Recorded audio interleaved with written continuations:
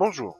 Dans cette vidéo, nous allons voir ce qu'il faut faire quand vous essayez de poster une réponse sur YouTube et que vous avez le message échec de la publication du commentaire.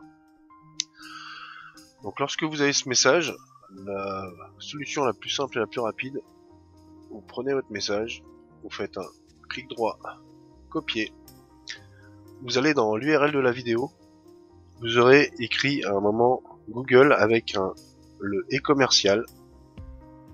Vous supprimez tout ce qu'il y a à partir du e-commercial. Vous appuyez sur la touche Entrée.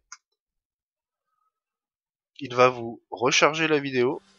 Bonjour, dans cette vidéo, nous allons voir ce qu'il faut faire si votre MacBook ne démarre plus. Une fois que la vidéo est rechargée, vous repostez votre réponse.